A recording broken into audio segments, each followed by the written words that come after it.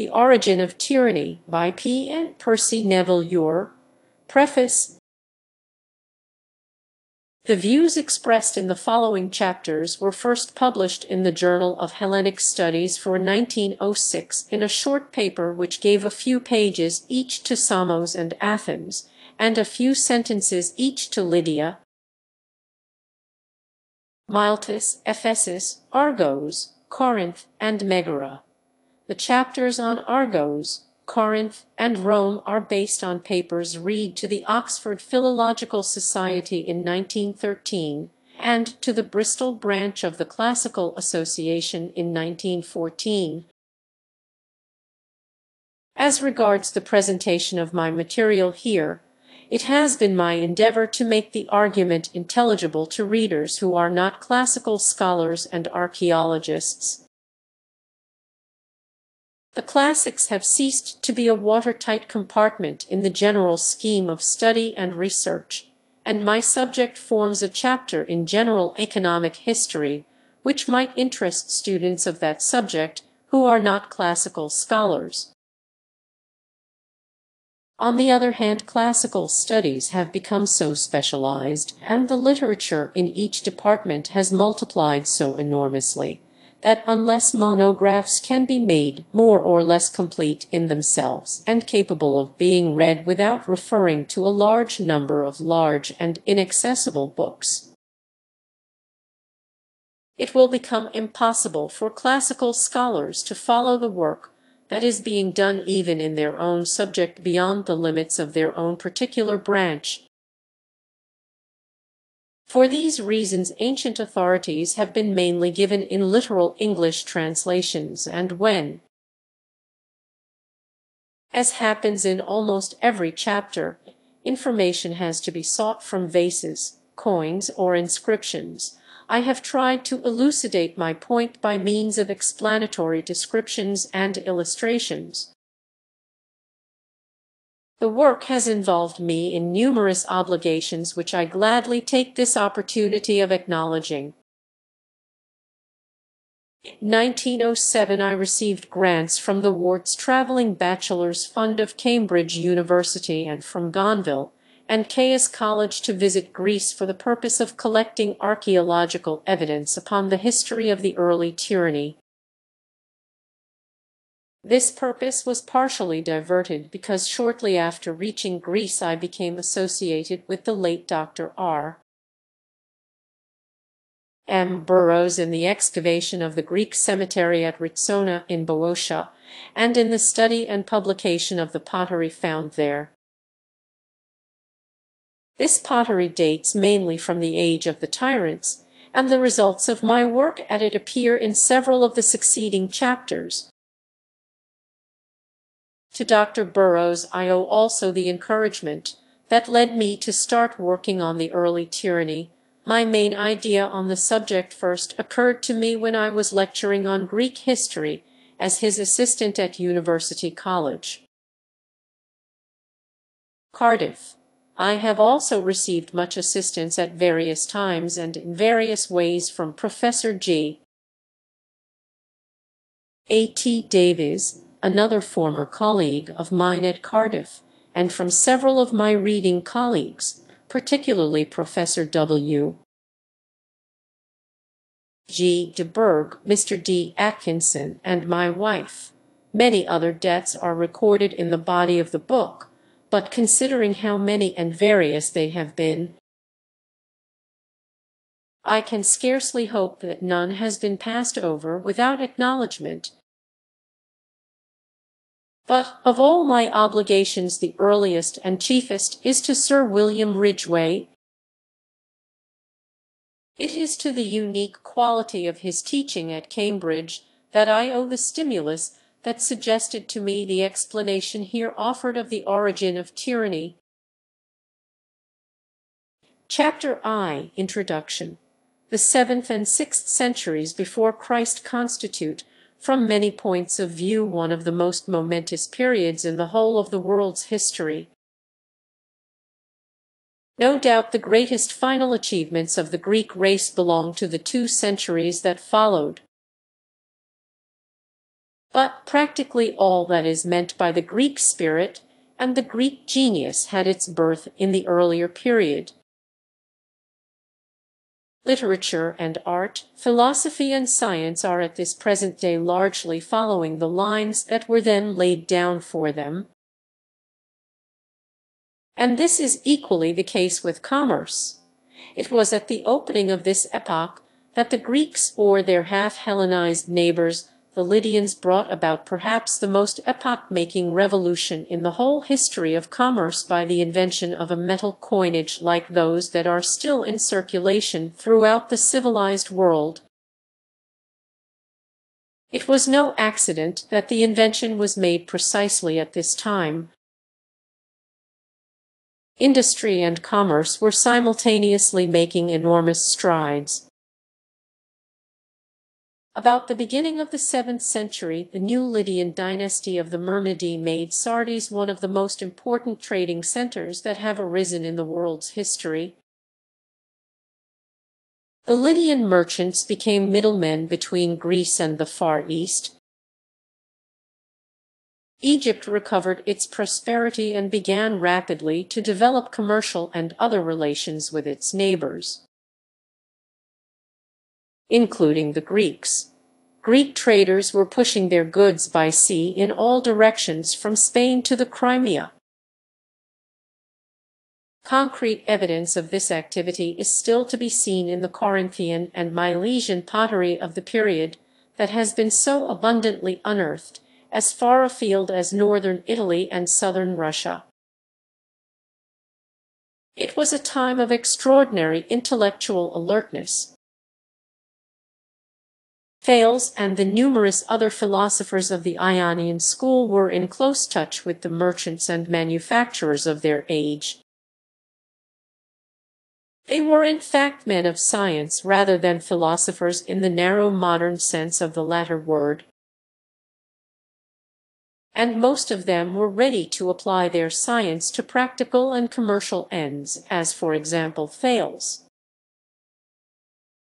who is said to have made a fortune by buying up all the oil presses in advance, when his agricultural observations had led him to expect a particularly plentiful harvest.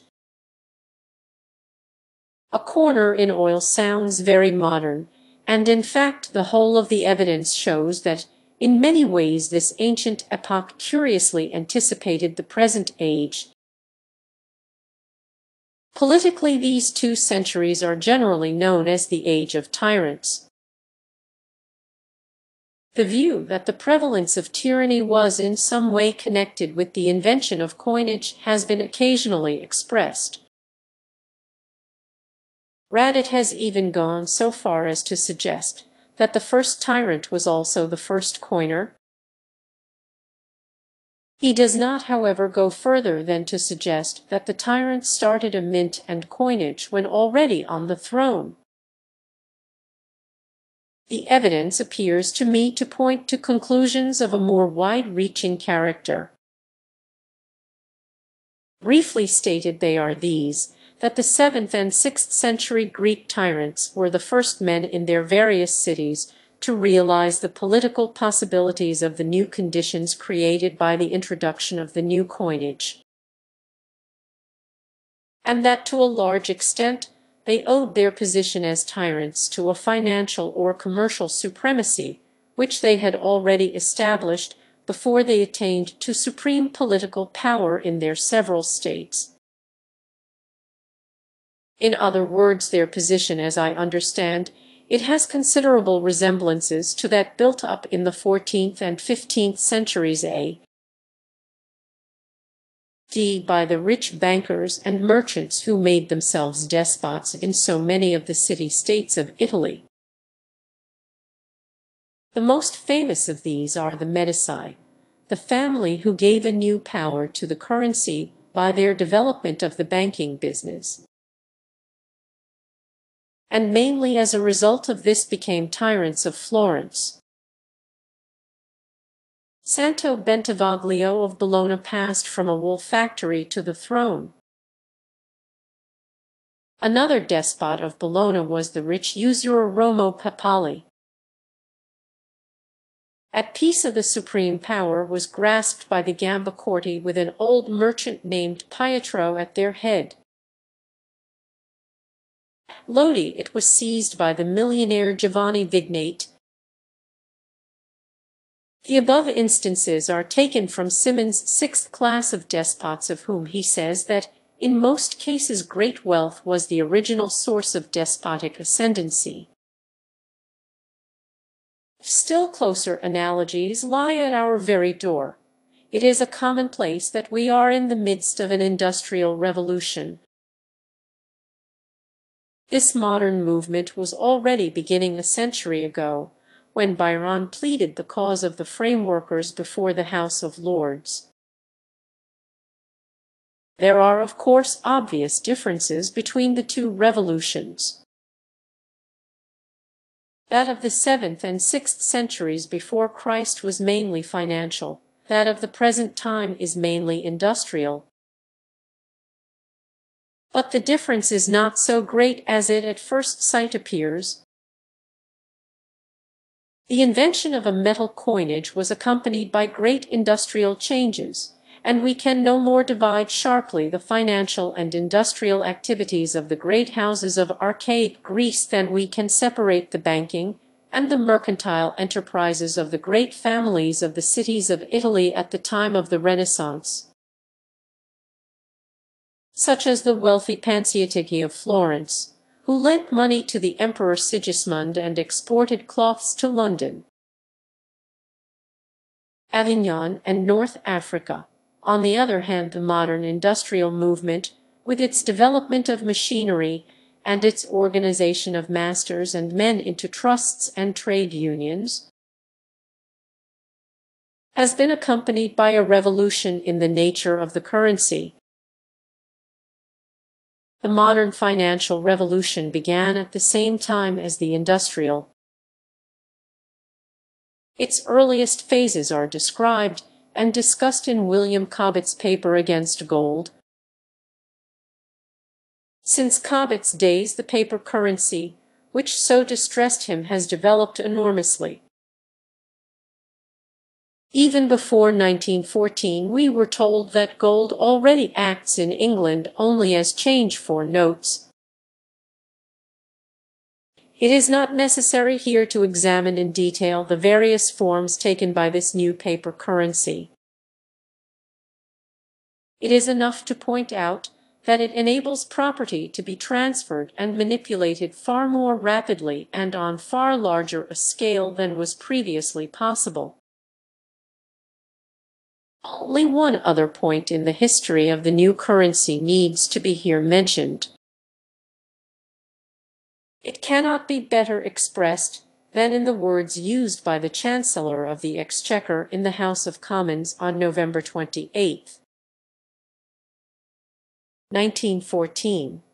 I have been much struck since I have been dealing with these transactions bills of exchange with how little even traders who form a part of this great machinery know about the mechanism of which they form an essential part. I do not think that the general public and I am putting myself among them ever realized the extent to which the business not merely of this country,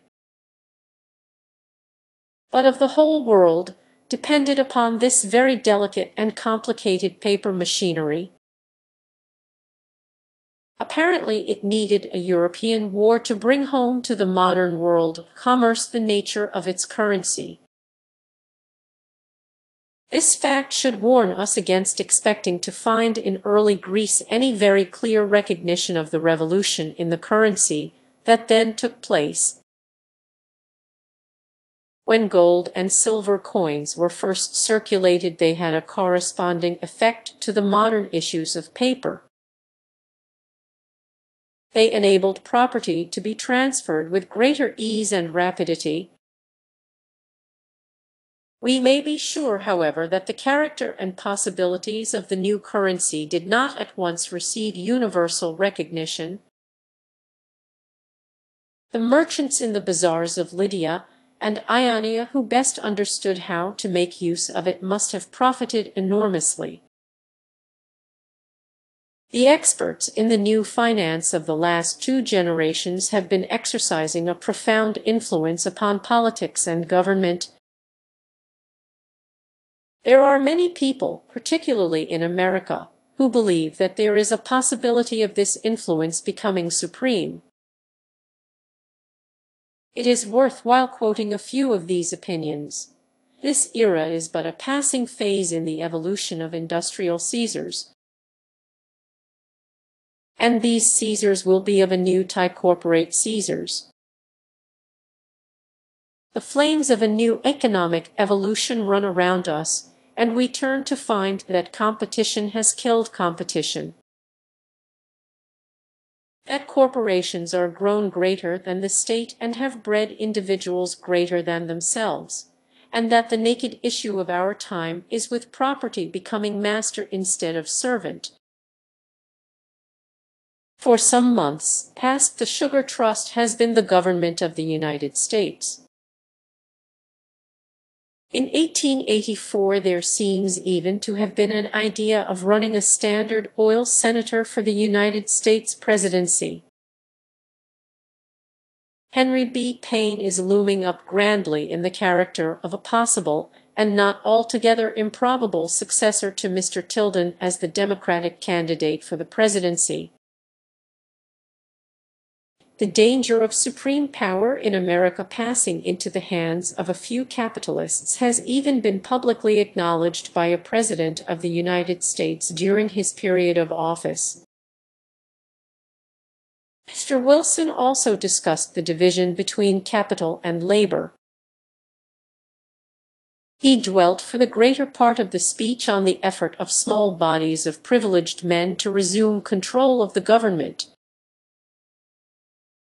and added, We must again convince these gentlemen that the government of this country belongs to us, not to them. Similar views are expressed by French, German, and Italian writers. According to the most brilliant of modern Frenchmen, the government of France has in some recent periods been in the hands of three or four groups of financiers, Salvioli in his Capitalism in the Ancient World speaks of the kings of finance who exercise in our states a secret but pervading sway. Even the warlike von Bernhardi fears an impending tyranny of capital. These quotations might be multiplied, but enough have been given to show that the opinion which they express is widely held. There is no need to discuss the honesty of particular expressions of it. If any of them could be shown to have been insincere, it would be only additional evidence of the plausibility of the opinion. Nor is this the place to discuss from a more general point of view the extent to which that opinion has been or seems likely to be verified to have indicated how widely prevalent is the fear of an impending new tyranny of wealth or tyranny of capital is by itself enough to show that the relation between the tyranny and the new form of wealth that arose in the seventh and sixth centuries before our era is a subject that deserves investigation. And to show also that the particular view as to those relations that is maintained in these pages has a priori plausibility. It should however be said at once that my view appears to have been held by no one who has published opinions on the subject from the fourth century before Christ onwards. This, however, is not fatal. Later in this chapter reasons will be suggested for holding that the true character of the early tyranny was lost sight of in the days of Plato and Aristotle. Why truer views on this particular subject should be recovered precisely at the present period may be sufficiently explained by the modern financial revolution, which makes it possible to approach the question from a point which has scarcely been accessible during the last 2,000 years. With this warning we may proceed to state the nature of the evidence in favor of this view, that the earliest tyrannies were founded and based on wealth. 1. The greater part of it is drawn from anecdotes and incidental statements of fact about particular 7th or 6th century tyrants preserved in Herodotus and later Greek and Latin writers. The various tyrants are dealt with individually in the remaining chapters of the book. Two glimpses into the economic and political life of the seventh and sixth centuries are occasionally to be got from the scanty remains of the poets of the period, supplemented by cautious references to later writers. It will be convenient to examine at once this more general evidence. The only two writers of the age of the tyrants of whom more than the merest scraps have come down to us are Solon and Theognis. Both deal professedly with the social and political problems of their day, but both address audiences who are familiar with those problems. Even if their whole works had been preserved instead of a few hundred lines in either case, we should not expect to have the fundamental problems explicitly stated. It would be possible to read a large selection of articles and speeches by quite the best journalists and politicians on many recent political measures, and at the end of it to be left in uncertainty as to the content and purport of the measure in question we must expect the same difficulty in reading Solon and Theognis. And it must be confessed that we find it. But there is nothing in the extant fragments of either writer which discredits the theory, more than that there are passages in both of them that become of the utmost significance if the early tyrants owed their power to their previous wealth but are rather pointless on any other hypothesis. Solon's position in relation to the tyranny is explained in the chapter dealing with Athens, but a few lines may be quoted here. But of themselves in their folly the men of the city are willing our great city to wreck, being won over by wealth. False are the hearts of the people's leaders, by the wreck of the city the poet means the establishment of a tyranny, as is indicated by another couplet. Great men ruin a city, for lack of understanding under a despot's yoke lieth the people enslaved. These last two lines were presumably written after Pisistratus had made himself tyrant of Athens. Solon's fears had been realized the citizens had been won over by wealth to wreck their great city. Is not the best sense made out of these lines by assuming that what Solon feared, and what actually happened, was that the popular leader had made use of his wealth to establish himself as tyrant? Neither the people's leaders of the first quotation nor the great men of the second are specifically stated to have been extremely rich, but, to quote again the words of Solon, both may be plausibly identified with the foremost of those who had power and made men to marvel because of their riches. The political aim of Theognis was to prevent a recurrence of tyranny in Megara, what does the poet bid his townsmen beware of? Not of eloquence, not of violence, not of rashly appointing a lawgiver or all his warnings are directed against wealth. Earth had lost its prestige, and wealth acquired unprecedented power. He complains how tradesmen reign supreme, the bad lord it over their betters. This is the lesson that each and all must thoroughly master, how that in all the world wealth has the might and the power Many a bad man is rich, and many a good man needy. Not without cause, O wealth, do men honor thee above all things. Most men reckon the only virtue the making of money. Everyone honors those that are rich and despises the needy. When he explicitly alludes to the dangers of the establishment of a tyranny, his references to wealth are no less prominent. Neither exalt thou in hope, by yielding to gain, any tyrant. Cyrnus, this city is pregnant. I fear lest a man it may bear us swollen with insolent pride, leader in stern civil strife.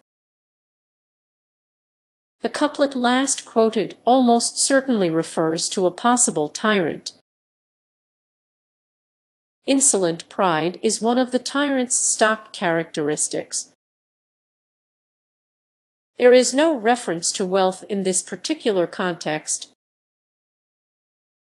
but there can be little doubt that this same character is also referred to earlier in the poem. Who, the poet asks, can preserve his reverence for the gods?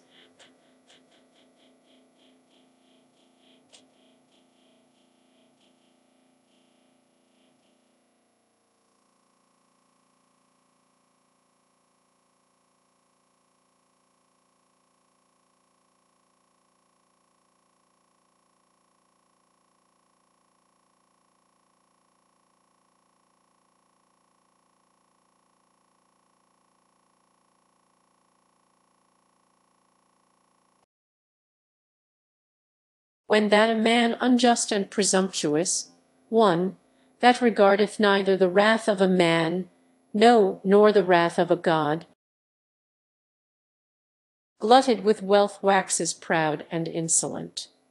In this last passage the pride and insolence are directly attributed to enormous wealth.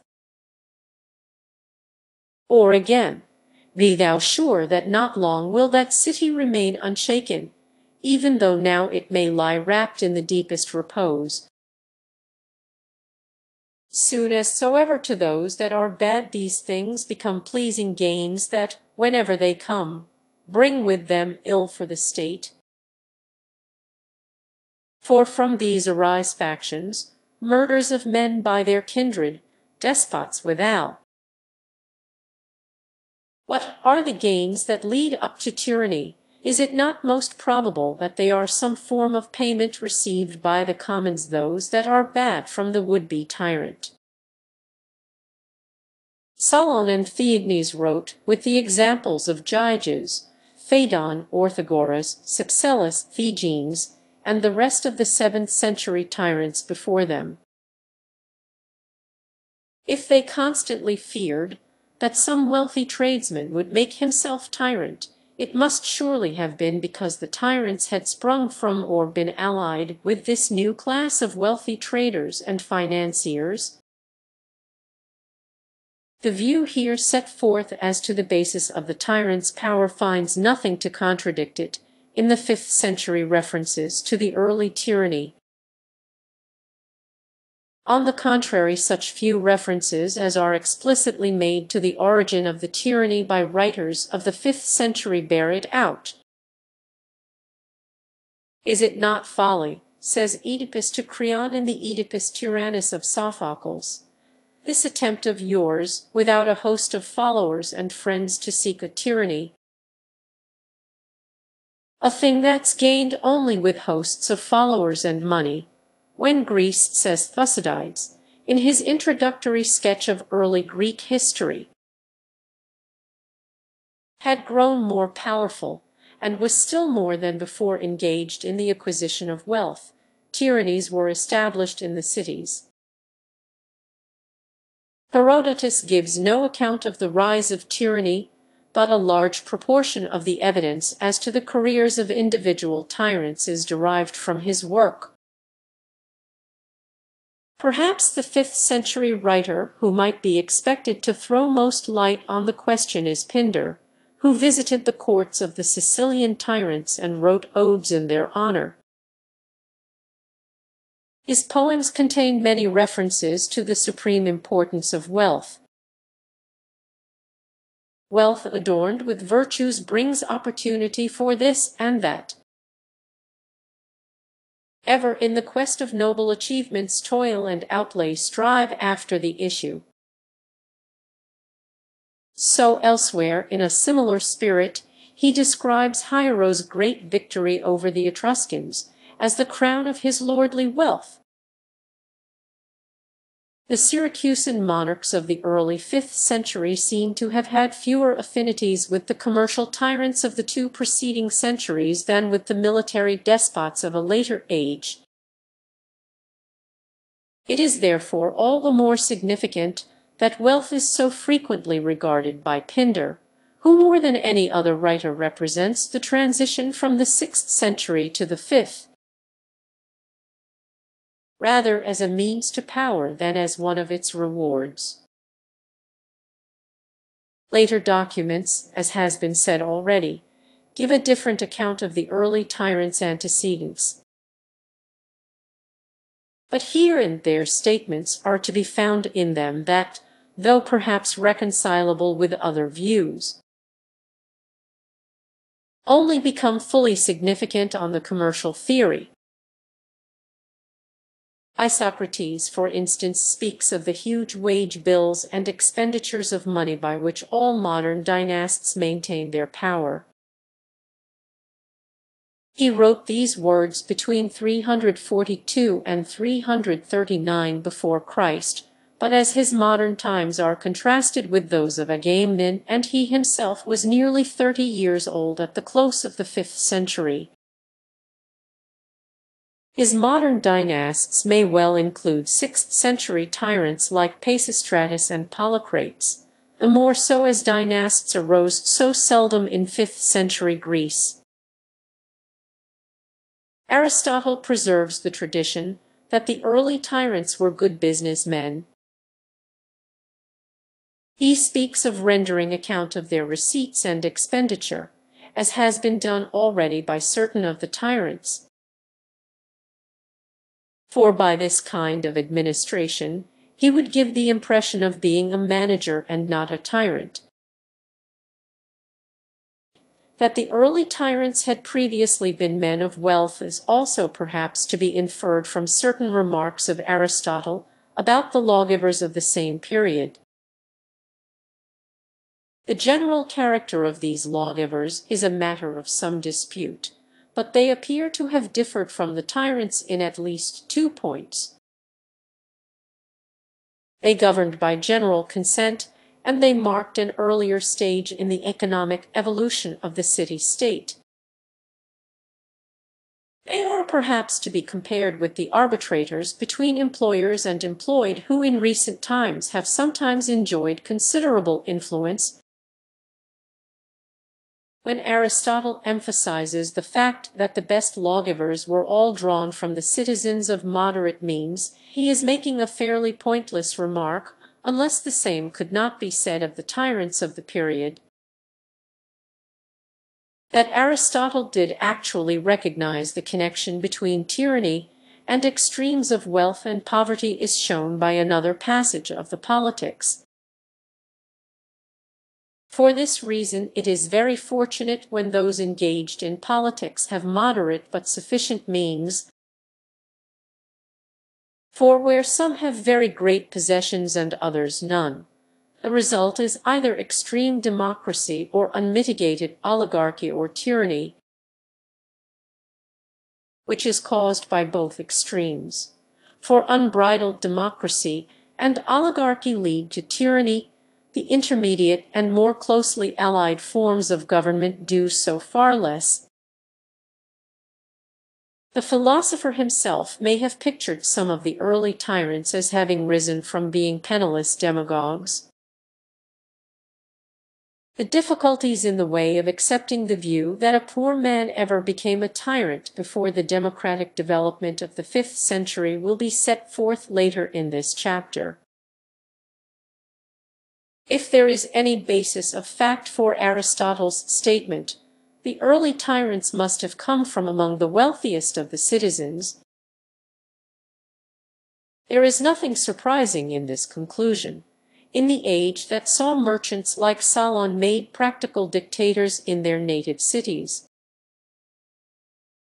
and philosophers like Thales anticipating the Rockefellers by making a corner in oil. There must have been individuals with something of the abilities of these great men, but little of their disinterestedness, who would be quick to grasp the possibility of reaching through the corner to the crown. At a later date cornering became less easy.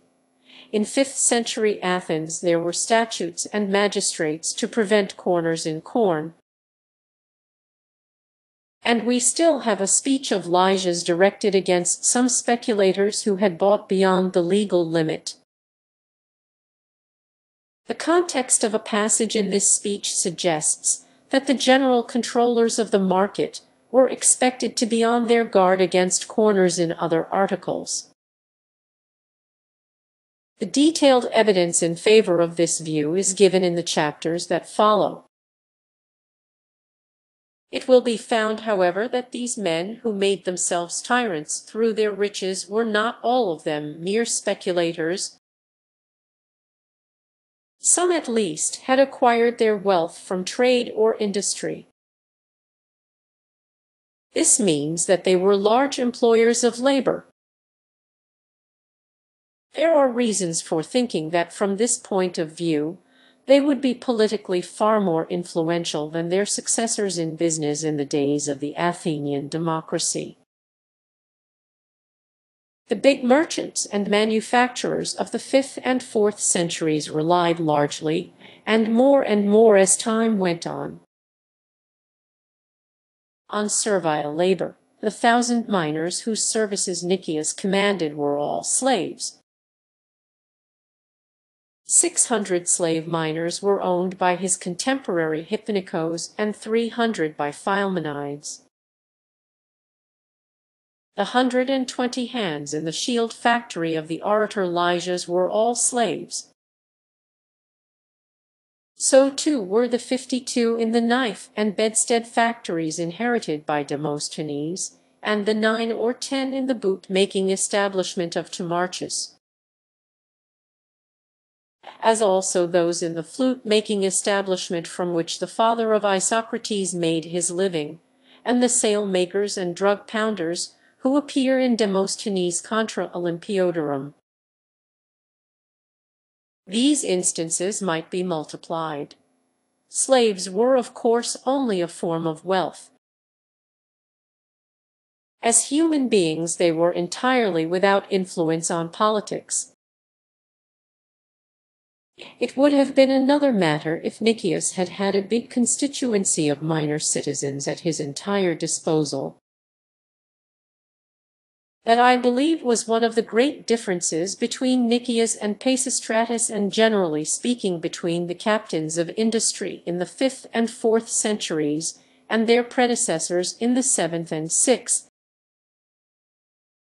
The evidence is not decisive, but as far as it goes it all points in this direction. At Athens in the generation that preceded the tyranny it is reported of Solon that he encouraged the citizens to take up manual trades, a policy perhaps to be connected with his release from debt and semi-slavery of the Pelatai and the Hectemoroi. Since fresh employment had possibly to be found for many of these liberated serfs, it is further reported of Solon that he offered the citizenship to any who transplanted themselves to Athens with their whole family for the sake of exercising some manual trade. Aeschines quotes Solon, laws attributed to whom were still in force when the orator flourished, to the effect that he does not drive a man from the platform I, E. He allows him to speak in the assembly of citizens even if he is practicing some handicraft, but welcomes that class most of all. Solon himself, describing the various paths by which men pursue riches, declares that Another learns the works of Athena and Hephaestus of the many crafts, and with his hands gathers a livelihood. The tyrants themselves are repeatedly found making it part of their policy to keep their subjects employed on big industrial concerns. In more than one case we shall see their power collapsing just when this policy becomes financially impossible. This part of the tyrant's policy is noticed by Aristotle, who quotes the dedications buildings and works of art of the Cypselids at Corinth. The building of the temple of Olympian Zeus at Athens by the Pisistratids, and the works of Polycrates round Samos. To these names we may add Theagenes of Megara, Phalaris of Agrigentum, Aristodemus of Cumae, and the Tarquins of Rome, all of whom are associated with works of this kind. Aristotle says that the object of these works was to keep the people busy and poor. This explanation is more than doubtful, as has been already recognized. It is not employment that leads to poverty. More probably the tyrants pursued this industrial policy because, to quote an expression used in another context by Plutarch, stimulating every craft and busying every hand, it made practically the whole city wage earners employed, as in the case Plutarch is describing, by the government of the state in other words, may not the tyrants have been building up an industrial state of employee subjects who in their turn involved an army of customer subjects? The words just quoted come from the life of Pericles and refer to the way that he employed the poor citizens in the rebuilding and adornment of Athens. Among the people so employed he mentions carpenters, sculptors, coppersmiths, stone masons, dyers, molders of gold and ivory, painters, embroiderers, engravers, merchants, sailors, wheelwrights, wagoners, drivers, rope makers, flax workers, leather cutters, road makers, miners.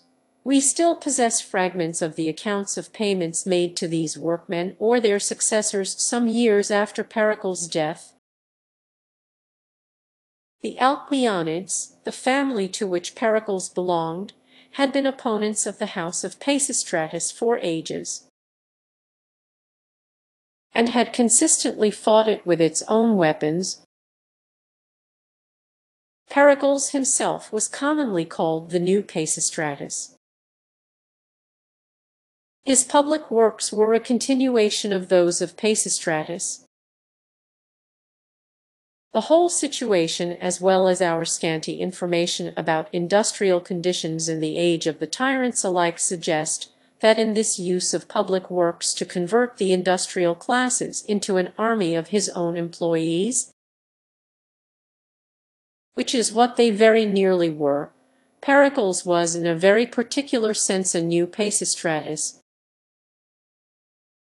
to judge, too, from the purely industrial evidence Pericles seems to have been continuing the traditions of an earlier age. It is true that free labor was largely employed on the restoration of the great sanctuary at Eleusis some eighty years after the operations just referred to. An inscription relating to the wages paid during this later undertaking shows that the employees included 36 citizens, 39 resident aliens, 12 strangers, 2 slaves, besides 57 persons of uncertain status.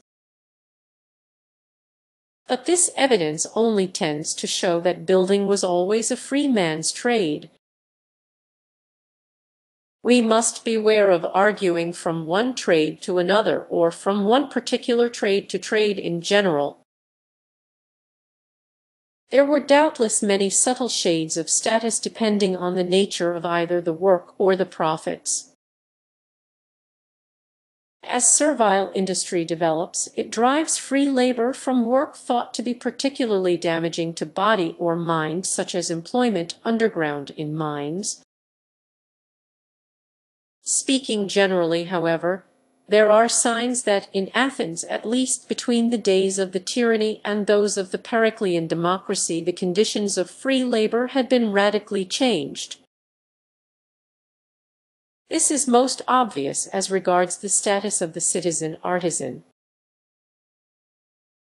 Solon refers to him without a trace of contempt and is careful to maintain his political dignity. In so doing he appears to have been conservative and simply following the tradition of the Homeric age.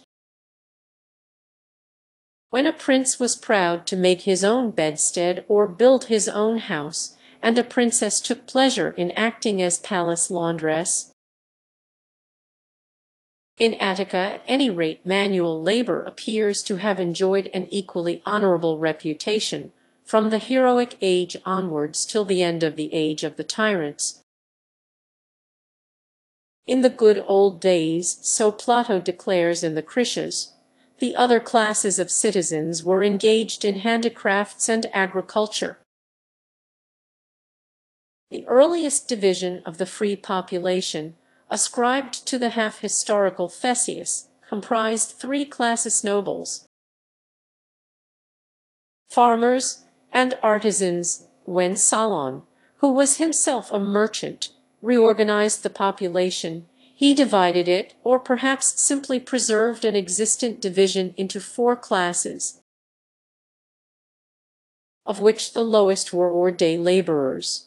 The names of the others Pentacosium dimnoi, Hippeis Zeugitai show that this class must have included all the artisans. The men who, in the lawgiver's own words, learned the works of Athena and Hephaestus of the many crafts. This description of the ancient Athenian craftsmen as sons of Pallas and Hephaestus recurs in Plato. A class that is described in this way plainly rests under no stigma. As Wallon puts it, le travail, loin d'etre un titre d'exclusion, tate un moyen d'arriver au pouvoir.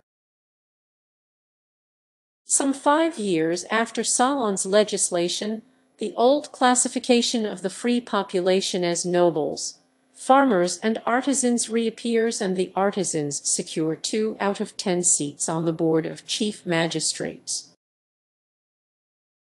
But in the fifth century this has changed. Contrast the tone of Solon with that of Xenophon, who states that some citizens actually live by handicrafts, and that mechanical occupations are rightly held in contempt by civilized communities. When Socrates has demonstrated to Alcibiades that the Athenian ecclesia is made up of working men cobblers, criers, tent makers, and the like, he proceeds to this inference, if you have a contempt for them individually, then you must have a contempt for them as a body. This contempt for manual work appears in Aristophanes, as for instance in his constant contemptuous references to Euripides' mother, who had been a greengrocer. It is recognized and discussed by Herodotus, who regards it as of comparatively recent growth, as he puts it. Most of the Greeks have learned to despise artisans. His view is supported by Isocrates, who when describing the state of things that prevailed in the Athens of Solon and Cleisthenes, declares that the propertied classes, so far from despising those who were not so well off, relieved their necessities, giving some of them farms at moderate rents, sending out others to travel as merchants, supplying others with capital for their various employments. The passage just quoted is no doubt tendentious, but as maintained by mm. Maury, it does indicate that labor was not despised in archaic Athens, more than that it suggests that in the days of Solon and Cleisthenes there was a good deal of free labor under the patronage if not in the actual employment of rich individuals. The transformation that began in the fifth century seems to have occurred gradually. It had not been completed when Herodotus wrote. Among the Athenian citizens who just at that time were being employed by Pericles on the Athenian Acropolis, we have seen from Plutarch that there were included carpenters, smiths, and leather workers. In the next generation, we find Xenophon declaring that most of those who understand these crafts are servile. The words are put into the mouth of Socrates, who was the younger contemporary of Herodotus by some fifteen years. Socrates and Xenophon, however, sometimes voice the earlier view, in the Apology, for instance, artisans are compared favorably with politicians, poets, and the like. Similarly, in the De Vectigalibus of Xenophon, in which the writer expresses some of his own personal views, artisans are placed with no suggestion of inferiority in the company of sophists, philosophers, poets, and sight-seers. In Plato, except for the passage just quoted from the Apology, manual labor is consistently condemned as unworthy of a free man in a free city. He would have no member of a state or even the slave of a citizen among those engaged in manual trades. He admits that there is nothing inherently ignoble in trade, but explains at length how all trading has in fact become so. Trade has come to imply money-making and to mean that the city where it flourishes is infected with money of silver and gold, than which, speaking generally, no greater evil could arise for a city that aimed at producing just and noble characters. When Plato is building up his ideal state wage earning is left to those citizens who are mentally deficient. Plato is above all things an independent thinker with no great respect for the masses and less still for popular opinion. But in this particular point his views do not seem to be unusual. He is echoed again and again by Aristotle, citizens ought not to live the life of an artisan or tradesman. Farmers and artisans and all the working class element must exist in cities, but the real constituents of the city are the military class and the parliamentarians. The best city will not make the artisan a citizen. The city where the artisans are numerous and men at arms are few cannot attain to greatness. The speech of Demosthenes against Eubulides makes it plain that in the fourth century a doubtful claim to Athenian citizenship might be damaged by pointing out that the claimant was a small tradesman. It is your duty, the orator makes his client say to the jury, to uphold the laws and not to regard as outlanders people who work for their living. Aristotle and Eubulides would have agreed with Pollux, our earliest lexicographer 2nd century A. D. That thetes is a name for free men who out of poverty do slaves work for money.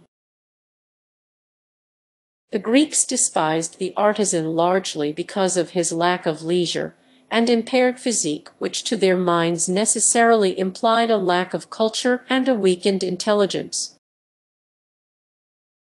This being the ground of their contempt, the feeling must plainly have grown up when the claims of culture and of industry had become exacting. This means that it was probably subsequent to and a result of the industrial developments of the age of the tyrants, and this dating is confirmed by other considerations. The growth of contempt for labor has been explained by Drumann as due in part at least to the Persian Wars and the resultant plunder, which must have made a good many citizens financially independent. The payment of the huge panels of juremen, which at Athens did so much to release the poor citizens from the necessity to work, was an ultimate outcome of the Persian Wars. The Peloponnesian War may have completed the process. It lasted through nearly 30 campaigns 431,404 before Christ and must have deeply disorganized the labor market. Slaves must in all directions have supplanted the free men who were wanted for military service just as women took men's places in the modern counterpart of the Greek disaster. The continued campaigning is sure to have left many of the fighting men with a distaste for the dull routine of industry. In the Plutus of Aristophanes, brought out in 388 before Christ, poverty argues against an even distribution of wealth on the ground that it would destroy the slave trade and drive free men to manual labor as smiths. Shipbuilders, tailors, wheelwrights, shoemakers, brickmakers, laundrymen, tanners, and ploughmen. Rather than return to their trades, they preferred active service in distant lands, when early in the fourth century Agesilaus of Sparta was campaigning in Asia Minor against the king of Persia, we are told that most of his troops, except his own Spartans, were potters,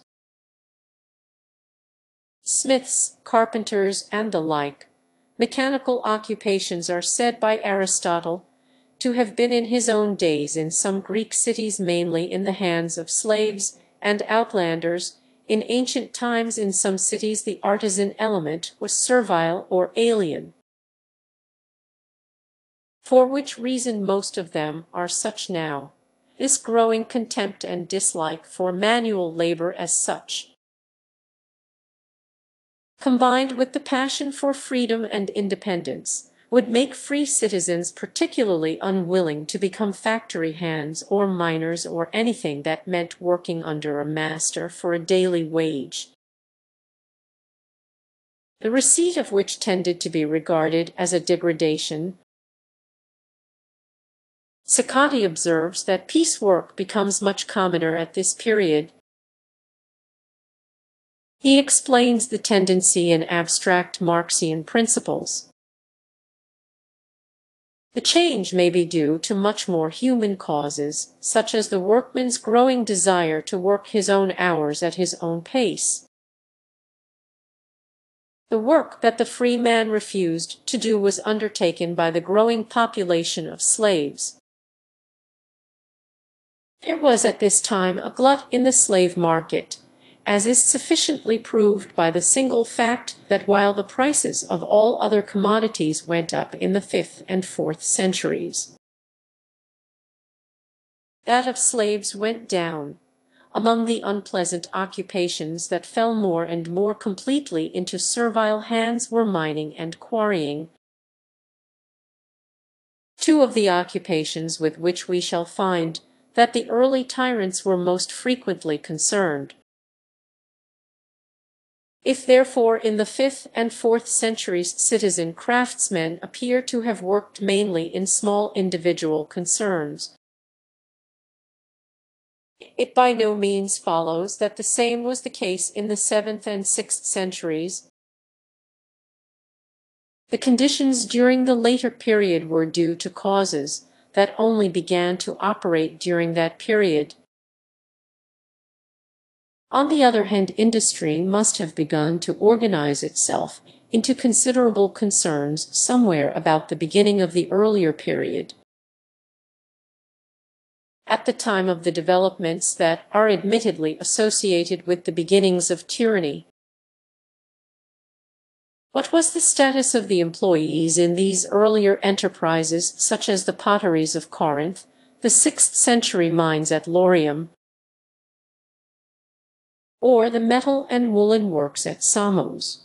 Almost our only piece of direct evidence on this subject is a statement of Alexis that Polycrates, the tyrant of Samos, whose connection with Samian industry is established in chapter Roman 3, used to send for skilled artisans at very high wages. These highly paid artisans may have been foreigners Athenians, Milesians, or the like but they can scarcely have been slaves. Indirect evidence in the same direction is more abundant. Periander, for example, the second tyrant of Corinth, about 620,580 before Christ, is said to have forbidden the purchase of slaves. This regulation looks like an attempt towards the end of the period of tyranny at Corinth to stem an influx of servile labor. It is doubtful whether slave owning on a large scale existed at this period, the Greeks of the fifth and fourth centuries regarded slavery as they knew it as a modern development. Timaeus says that till recently the Locrians had a law and likewise the Phocians against possessing either maid servants or slaves, and that Amnason the friend of Aristotle, having acquired a thousand slaves, was ill spoken of among the Phocians as having deprived that number of the citizens of their daily bread. There is much therefore to be said for the view expressed by Clarke, that free labor flourished afresh in the seventh and sixth centuries before Christ with the overthrow of aristocracies.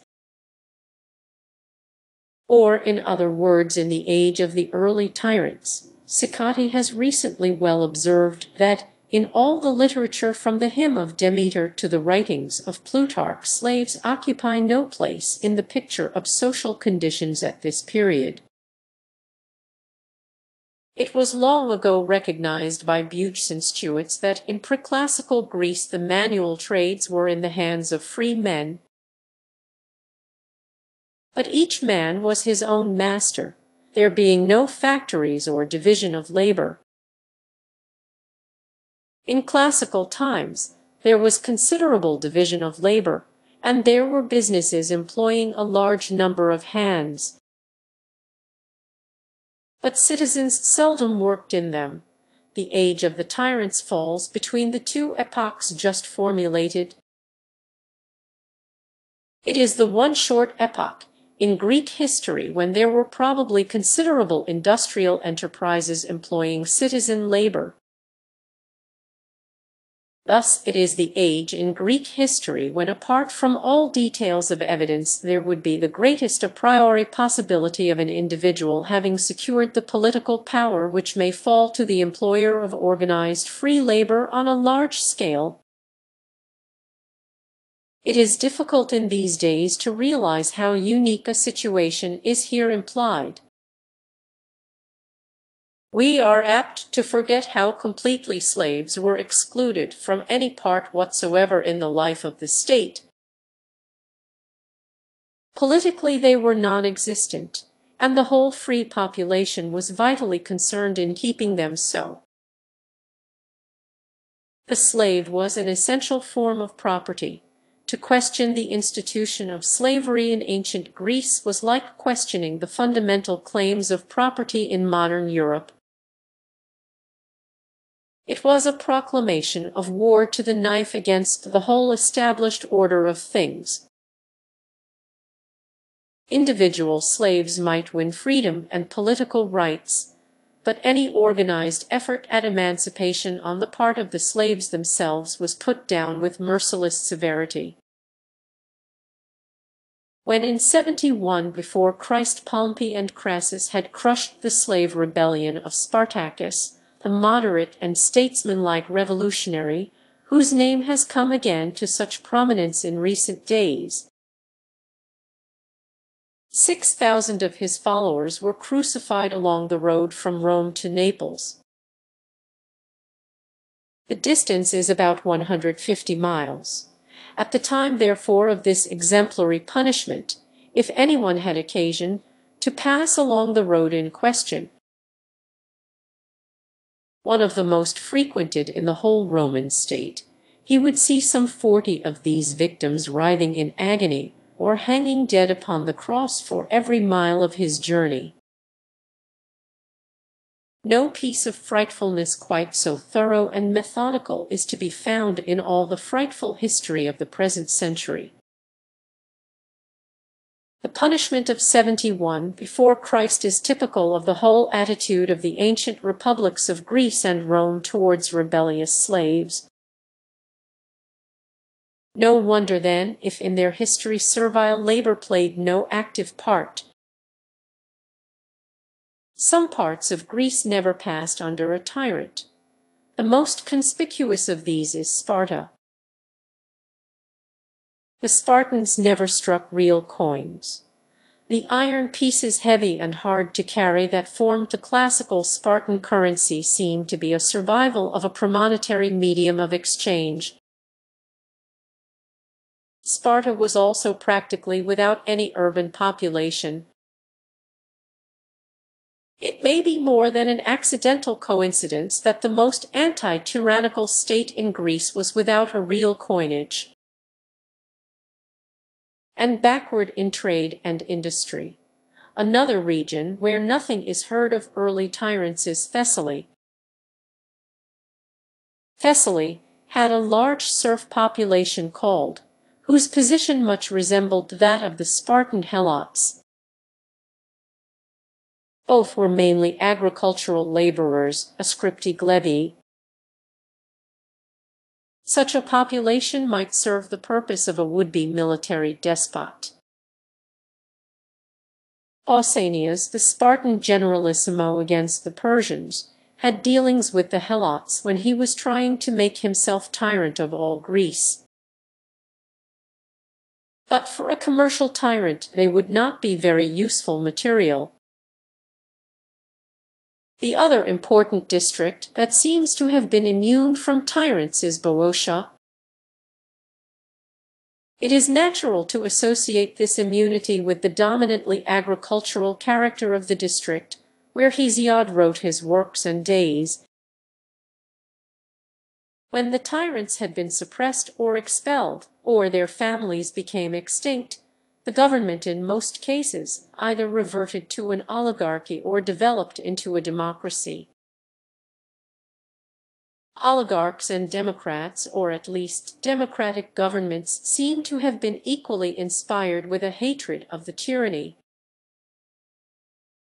The steps that they took and the fears that they displayed under that influence may be expected to throw light on the source of the tyrant's power.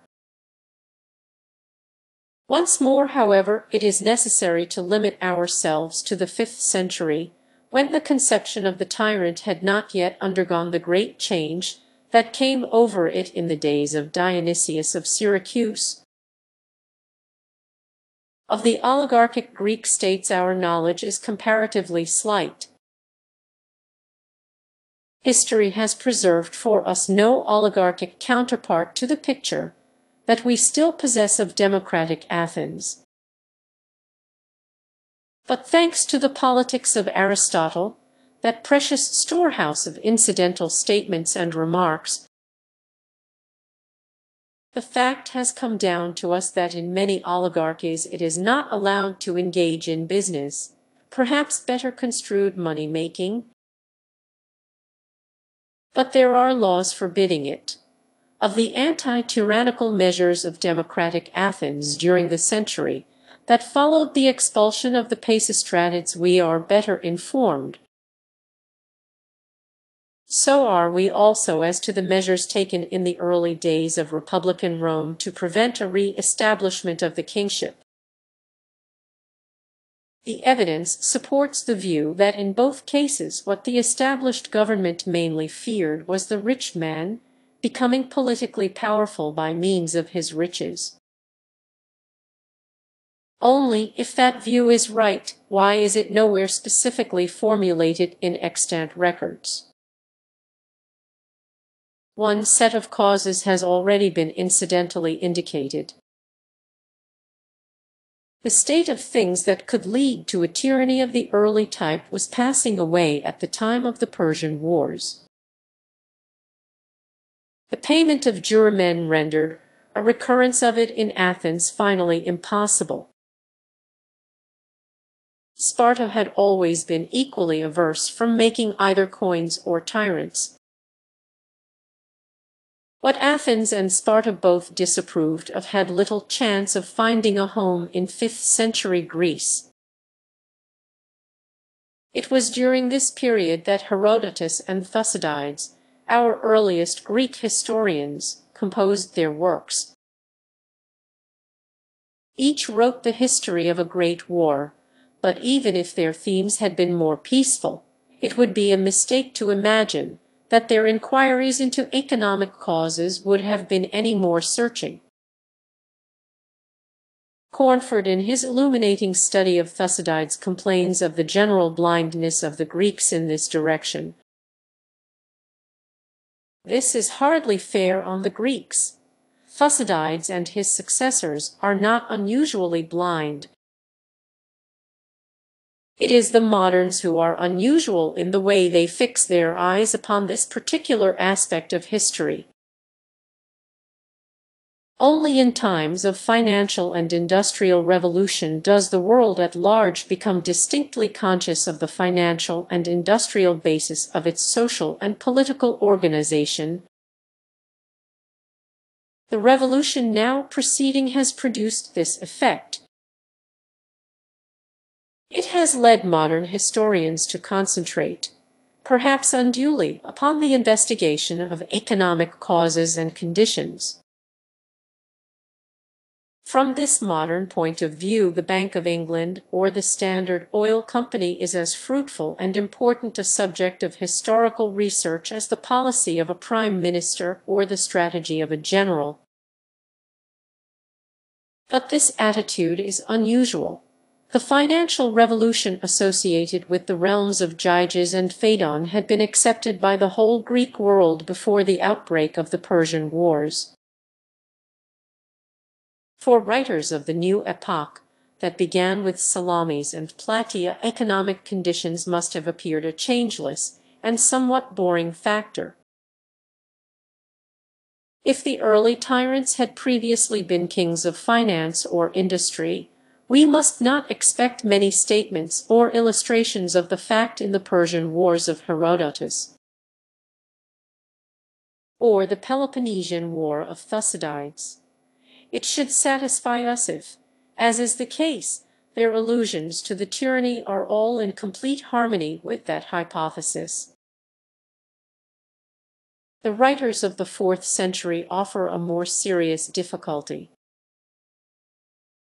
Both Plato and Aristotle deal at some length with the origin of tyranny, and both give explanations quite different from the one that is here offered. As their accounts have been the basis of all subsequent views, it is necessary to state briefly what they are.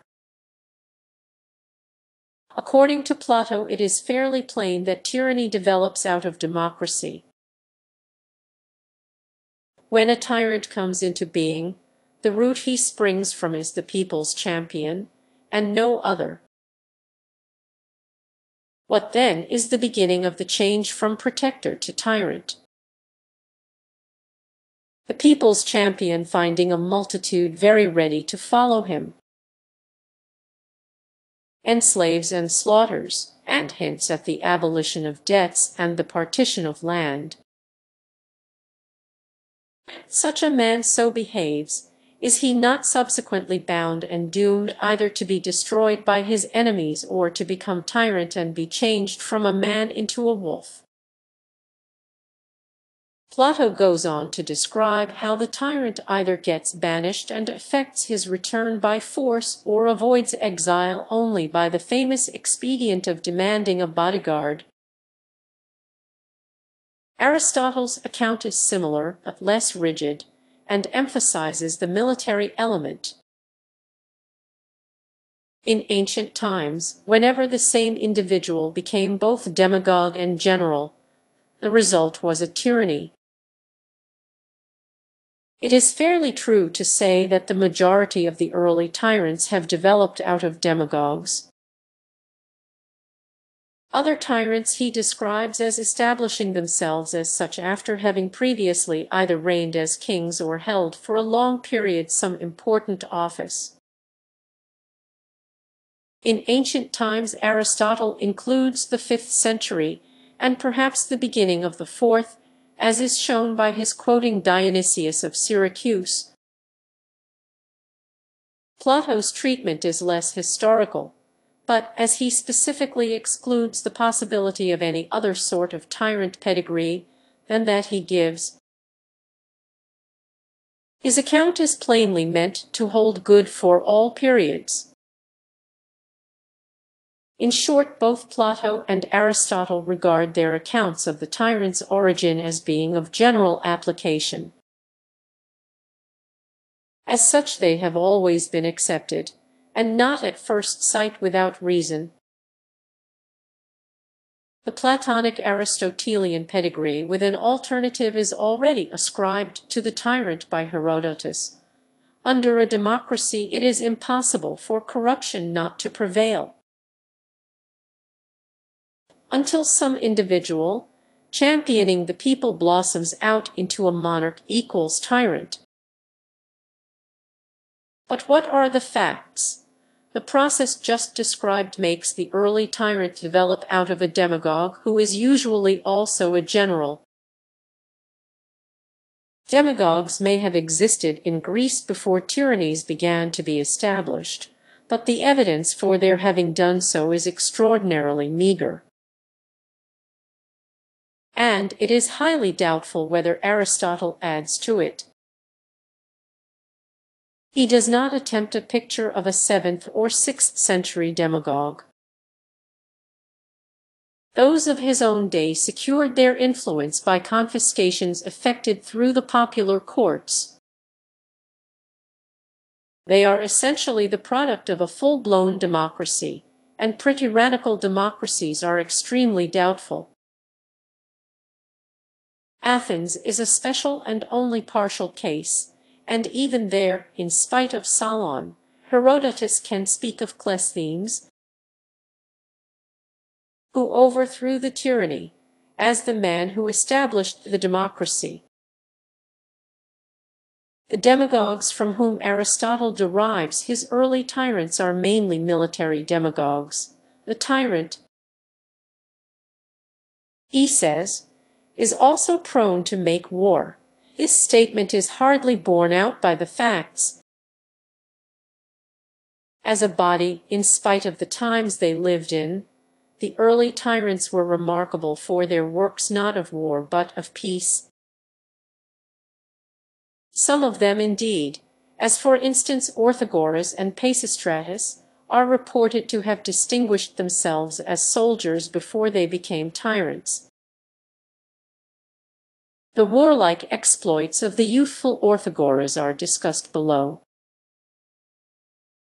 He cannot have been really prone to militarism, since Aristotle declares that a successor of his altered the character of the Sicyonian tyranny by becoming warlike.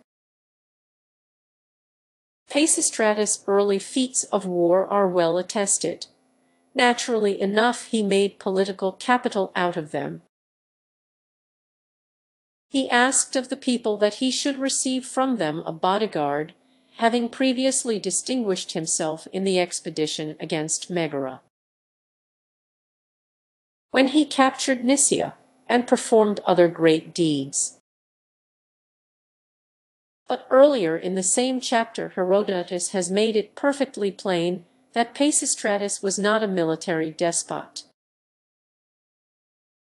Having formed designs on the tyranny he raised a third faction, and having collected partisans, and posing as a champion of the hillmen, he devised as follows.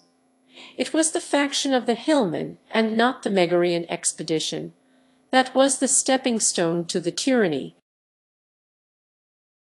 Who the hillmen were is discussed in the chapter on Athens. It has never been suggested that they were military. A military demagogue who makes himself tyrant is essentially the product of an advanced democracy threatened by invasion from without. When the tyrants of the 7th and 6th centuries secured their positions, there was no foreign invader without the gates and no democracy within. Aristotle calls democracy the last word in tyranny. From the point of view of historical development, the converse comes much nearer to the truth, and tyranny is the first word in democracy. The evolution of the tyrant as described in Aristotle and Plato cannot have taken place until after the reforms of Cleisthenes or precisely the period when the last of the early tyrants was finally banished from Greece. The two philosophers, and likewise Herodotus in the passage just quoted, must be reading into more ancient times a state of things that only became prevalent shortly before their own. The words of Herodotus are put into the mouth of Darius. This means that they really hang loose and may be influenced by the careers of contemporary demagogues like Cleon. But the main source of error lies in Plato and Aristotle, and is still more obvious. The most distinguished figure in the political history of the early part of the fourth century was Dionysius of Syracuse. Dionysius is like Plato's tyrant in the Republic, the product of democracy. Like Aristotle's in the Politics, he begins his career as a military demagogue. The resemblances are not accidental. Dionysius made himself tyrant when Plato was just reaching manhood. Plato visited his court and few political experiments have become more famous than Plato's attempt to turn the tyrant's son into the ideal philosopher-king. Aristotle naturally shared his master's interest in the famous Syracusan. His politics bears frequent witness to the fact it contains only eight references, each to the tyrant houses of Corinth and Athens as against twenty to those of Syracuse, eleven to the Dionysiae and Dion,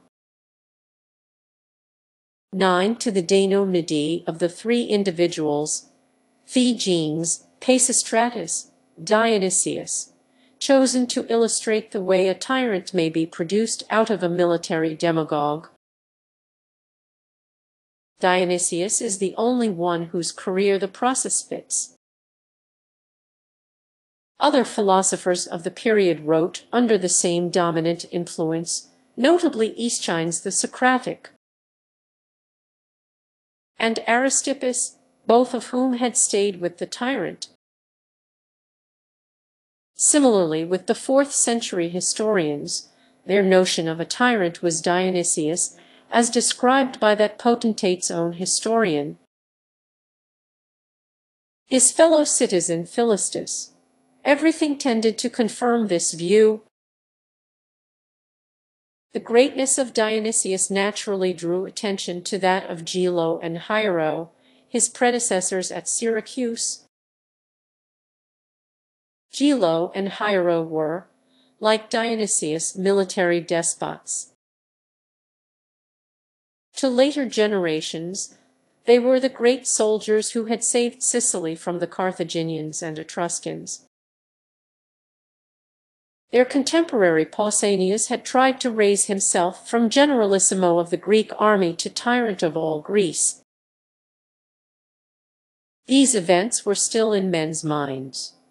Of the earlier tyrants they had only hazy notions.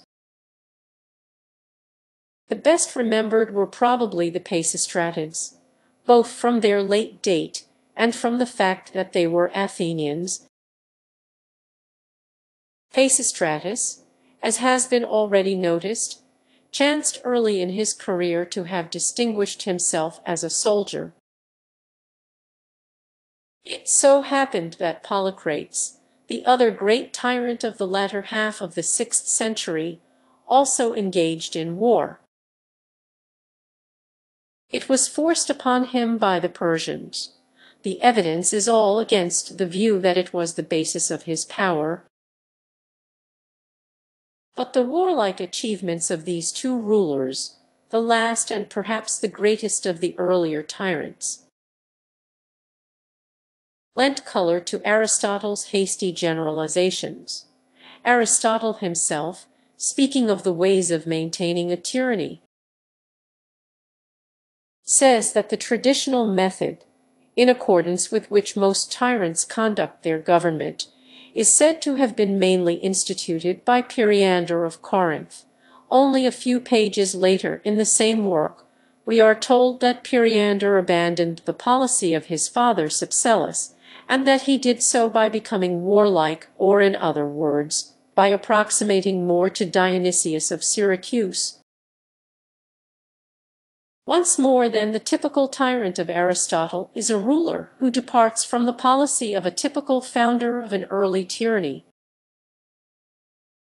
For an example of the victory of the Aristotelian view over the truth we may compare Herodotus I.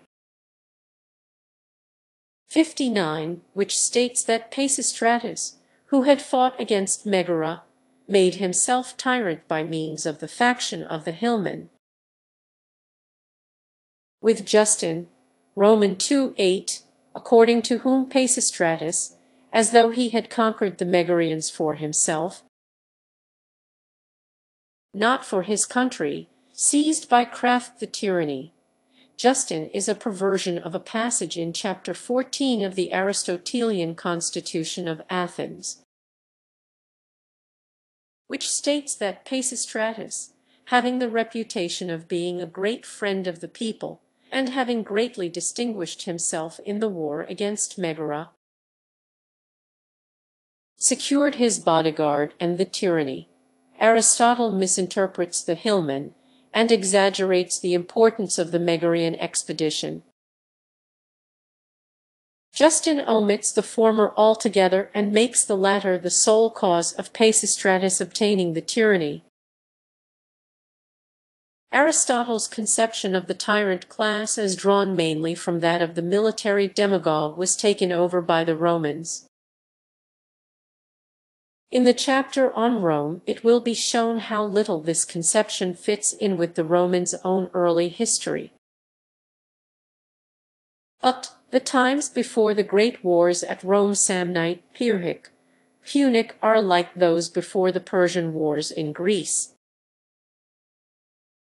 They belong to a different epoch from those that follow. The later history of the Roman Republic harmonizes with Aristotle's view. The Gracchi may be represented as demagogues who failed to make themselves supreme for lack of military power. Marius, Pompey, and Caesar succeeded in proportion as they realized the Aristotelian combination. The fourth century conception was therefore unchallenged by Roman writers, the more so since Dionysius appears for a while to have dominated the Roman conception of a Greek tyrant. Fortunately, however, owing to the careless way the Roman historians worked over their material, they have left us glimpses of the different conditions that had once existed the view that was thus disseminated in classical Greece and Rome was naturally accepted by the scholars of the Renaissance and has prevailed ever since.